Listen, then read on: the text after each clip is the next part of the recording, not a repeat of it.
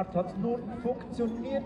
Also, aus Schweizer Sicht natürlich die Bahn 7 mit äh, Finn Tournee vom Blue Sport. Sehr interessant. Finn Tournee, der junge Athlet aus Diepholzau, mittendrin in diesem Weltklasse-Feld.